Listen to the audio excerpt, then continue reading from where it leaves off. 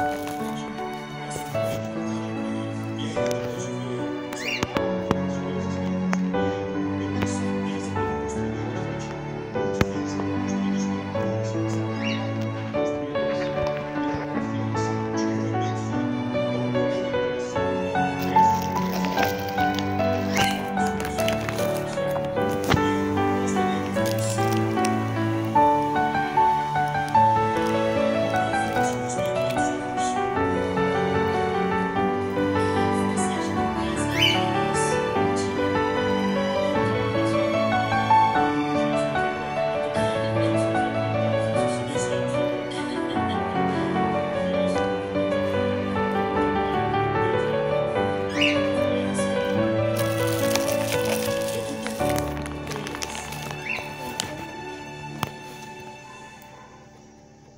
Senhor, né? a gente está falando de